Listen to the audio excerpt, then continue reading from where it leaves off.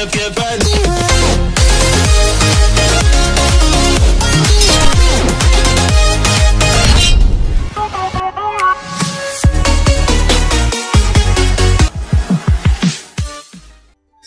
Xin chào các bạn, tôi là Michelle Nguyễn, tác giả của cuốn sách Nhà lãnh đạo Kim Cương, là nhà đào tạo tư vấn về lãnh đạo tối ưu hiệu suất làm việc của nhân viên.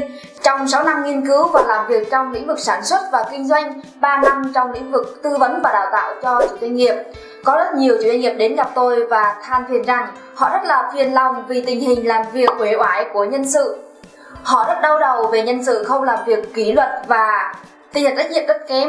Họ không có thời gian vì suốt ngày phải ở công ty đôn đốc thúc giục và kiểm soát nhân viên. Vì vậy, tôi đã xây dựng thành công mô hình nhân tài kim cương để giải quyết tất cả vấn đề trên cho doanh nghiệp. Mô hình nhân tài kim cương sẽ giúp bạn tuyển dụng được nhân tài cho công ty, tăng năng suất làm việc của nhân sự lên 300%, giúp nhân viên làm việc lâu dài cùng với doanh nghiệp, tăng nhiệt huyết và lòng nhiệt thành của nhân viên đối với công ty và giúp cỗ máy công ty tự động vận hành bởi vì nhân viên đã có tính kỷ luật thép và tinh thần chịu trách nhiệm 100%.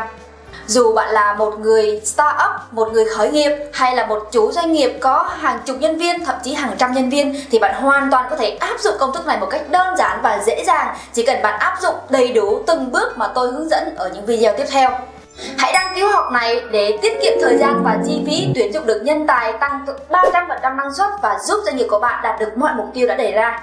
Xin chào bạn và hẹn gặp lại bạn ở video tiếp theo. Xây dựng đội ngũ nhân tài kim cương rất dễ nếu bạn biết phương pháp.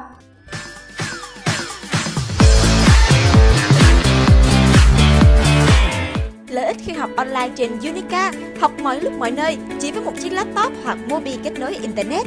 Mua một lần, bạn được sở hữu khóa học trọn đời. Bạn có thể xem đi xem lại cho đến khi thành thạo. Vừa học vừa thực hành, hỏi đáp trực tiếp với giảng viên.